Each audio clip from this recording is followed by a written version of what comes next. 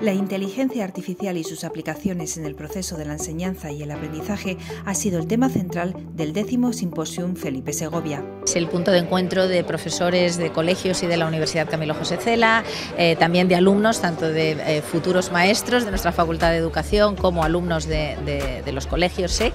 que han celebrado su propio eh, congreso, el Empowering Young Voices, y que se han sumado bueno, pues, a esta fiesta que al final lo es del, del aprendizaje, porque es lo que nos une a todos como como, comunidad. Recoger en este simposio es algunos de esos aprendizajes, las mejores prácticas que se están desarrollando en nuestras aulas y ver hacia dónde vamos en ese futuro que va a ser diferente gracias al uso de la inteligencia artificial. Integrar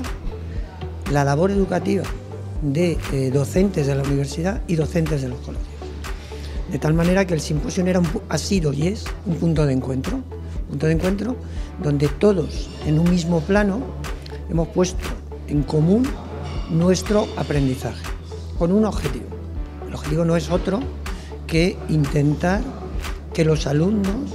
aprendan más, aprendan más y mejor. Cientos de profesores de los colegios internacionales SEC y de la Universidad Camilo José Cela han compartido experiencias educativas innovadoras puestas en marcha en sus aulas, sin perder de vista el papel de la inteligencia artificial como herramienta transformadora del futuro de la educación. Una reflexión acerca de la inteligencia artificial y cómo esta puede ayudar en mayor o menor medida en el desarrollo de nuestras actividades como, profesores. La inteligencia artificial es un cambio que realmente, un añadido, algo que está dentro de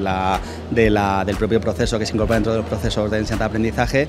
y tanto parte del profesorado para facilitar o apoyar en determinados procesos como parte del alumnado también en la realización de actividades, de trabajos, pues evidentemente hoy es un día eh, muy especial. En las que todos vamos a de alguna manera eh, compartir cómo estamos enfrentando este cambio eh, que va a ayudar sin duda a los procesos de enseñanza y aprendizaje de nuestros estudiantes. Entonces es una oportunidad única de, de seguir aprendiendo de todos nuestros compañeros. Un evento que se convierte en una gran oportunidad de aprendizaje para continuar innovando las aulas en beneficio de la formación de los alumnos.